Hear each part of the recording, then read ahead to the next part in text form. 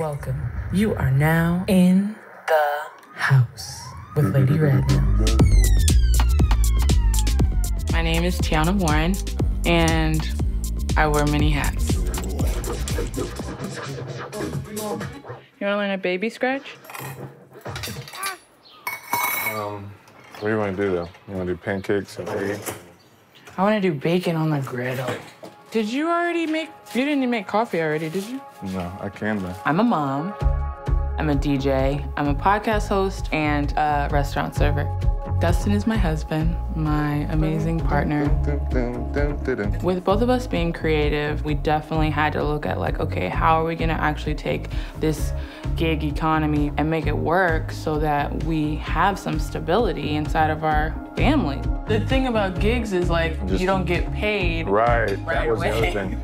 You do a gig and then you get paid a month and a half later. Exactly. You know, whether it's like missing their first steps or their first words, that was one of the things that I was fearful of in going back to work.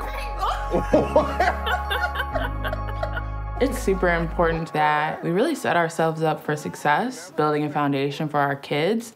And that's why I reached out to Kumiko. Good morning, good morning. So today I have a lot of exciting. My name is Kumiko Love, and I am the owner and creator of thebudgetmom.com. The Budget Mom was literally born out of my complete failure and frustration with money management. What I really wanted to talk to you about is just how to maximize my streams of revenue such that in the next like five to eight years, my husband and I can buy our first home. We have to look at how do we set this huge goal that we have in a realistic and attainable way. With that being said, though, we shouldn't give up so many of the things that bring us happiness because we have the excuse of, oh, I don't have time for that. eight, nine. Financially, discipline just wasn't there. But I'm very disciplined when it comes to things like working out and just like physical regimens. When I put my mind towards something, like I'm just so on it.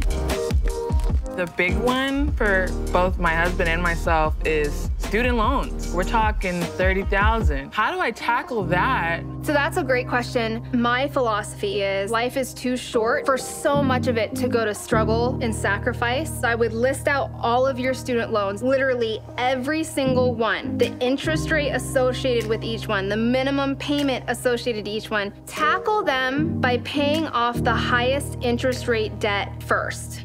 It's going to save you the most money in interest payments over the life of your debt. You know what, Kumiko? I'm feeling really good about this. I'm really excited to start saving on this house and start paying off these student loans. So, thank you so much. You are so welcome, and you know what? You can have it all. Go, go, baby. Go, go, go.